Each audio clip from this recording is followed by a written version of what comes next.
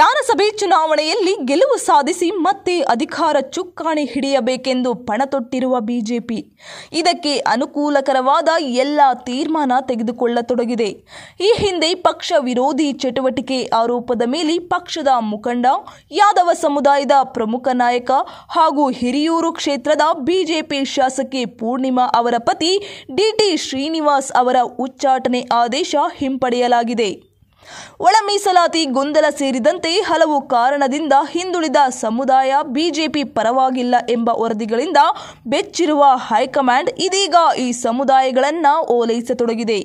ಈ ನಿಟ್ಟಿನಲ್ಲಿ ಹಿಂದುಳಿದ ಸಮುದಾಯದ ಮುಖಂಡ ಹಾಗೂ ಯಾದವ ಸಮುದಾಯದ ಪ್ರಭಾವಿ ನಾಯಕ ಶ್ರೀನಿವಾಸ್ಗೆ ಮಣೆ ಹಾಕಿದೆ.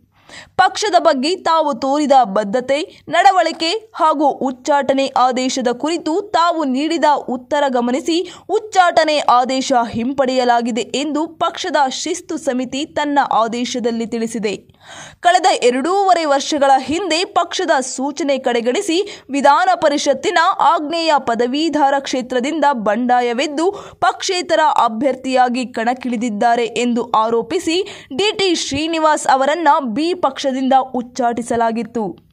ಬಂಡಾಯ ಅಭ್ಯರ್ಥಿಯಾಗಿ ಸ್ಪರ್ಧಿಸಿದ ಶ್ರೀನಿವಾಸ್ ಅವರು ಕಣದಿಂದ ಹಿಂದಕ್ಕೆ ಸರಿಯುವಂತೆ ತಿಳಿಸಿದ್ದರು.